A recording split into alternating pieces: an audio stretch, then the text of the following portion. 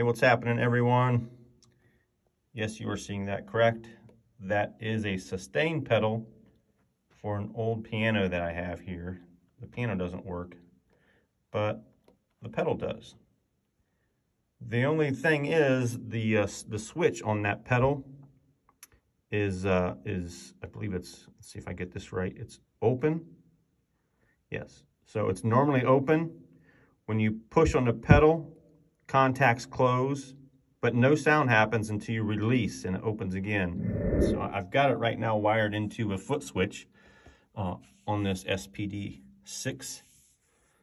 So what I did is I had to take the thing apart and what I ended up doing is flipping the switch so that when I push on it, it actually opens. So I made the switch normally closed and then when I push on the pedal, it opens and that's when it sounds. Because the way it was, it was, so when I push on it, it wouldn't sound. It would come together. And then when I let go, it would open. So basically it was in, it was sounding on the upbeat.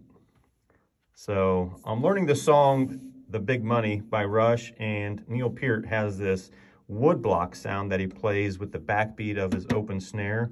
And he just hits that for those woodblock sounds. And I'm trying to get something close and that's what I come up with. So right now it does sound when I step on the pedal. So the timing should be uh, locked in pretty good now. Um, yeah, I know most of you are saying, why don't you just go out and get you a hi-hat trigger for an electronic kit?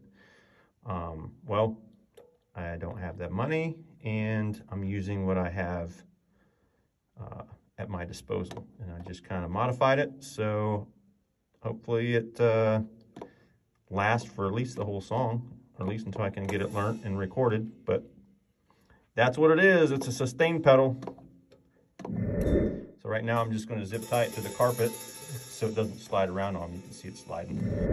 So if you see it in the video, that's what I did. Rock on.